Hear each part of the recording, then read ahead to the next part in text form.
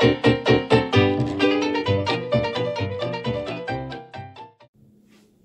morning, everyone. Sorry about the lighting, but I just used my phone. It is what it is. So um, today I'm going to show you how I um, make Ozzie his foraging every morning. So what I use is this stainless steel. It's a little container that you can put whatever you want to in it.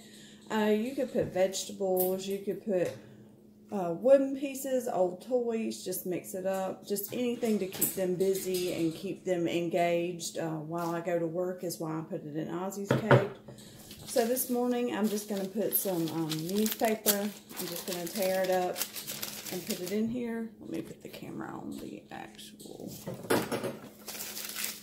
show you how I do this. And I mix it up a little bit every day. I also have some of these little wooden sticks I'm going to put in here. Ozzie really likes those. Uh, I think I have a video of him scratch, scratching his back with some of these. So just put it in there to give him something to do throughout the day while I'm going to work. And it doesn't take long at all. But um, this is a, a great toy. This is probably, I would say, if you're going to get anything, this would be my number one. Because in the wild, these birds, they forage all day long for their food. So this is what it's going to do for your bird. It's going to help them forage for their food, keep them engaged, keep their little minds working, keep them busy, so they don't have um, anxiety or anything like that while you're gone working. And what you can do, I'm not going to do this because uh, the bottom of our cage has spaces.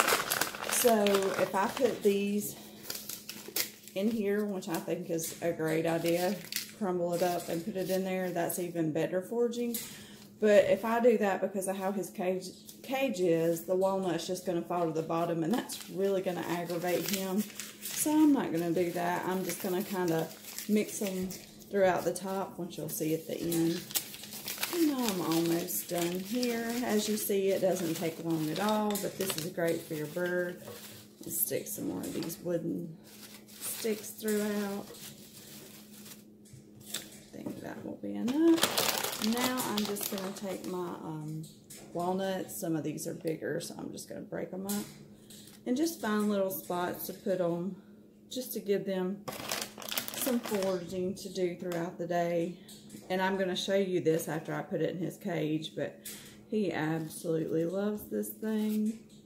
That's why I'm saying if I was going to get anything, this would be the toy that I would purchase because he likes his other ones, but nothing like this. And I'm going to give him a few pine nuts. You've never seen a pine nut, that's what the pine nuts look like. I'd never seen one until I got Ozzie, so just mix those throughout. And I'm done with that. All you do is put the top on, and it's self-explanatory. You can only go one way. Then you're going to put the little ball on. Then you're going to take this and twist the part that connects to the cage on.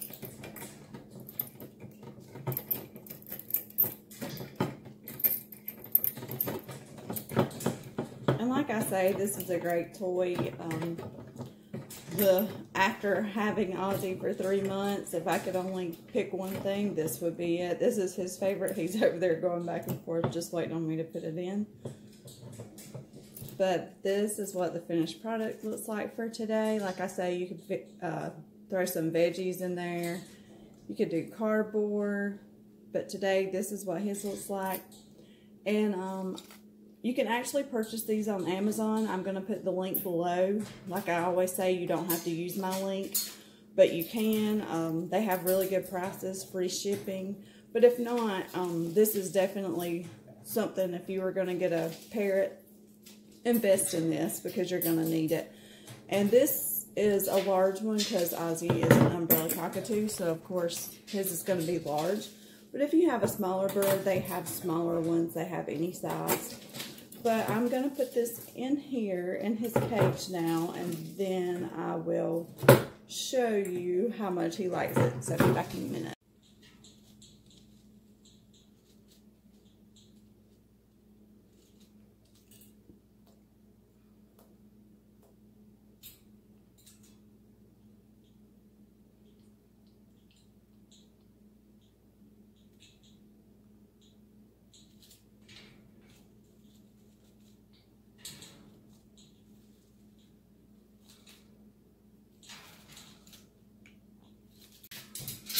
So as you can see, Ozzie loves this and I'm going to leave him alone with that and head to work. But thank you all for watching.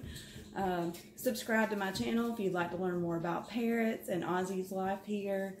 And like our videos, share our videos. And if you have any questions, just put them down in the comments. I'll answer you as soon as I can. If you have anything you'd like to share about what your parrot enjoys. Um, but everybody have a good day and I will see you next time.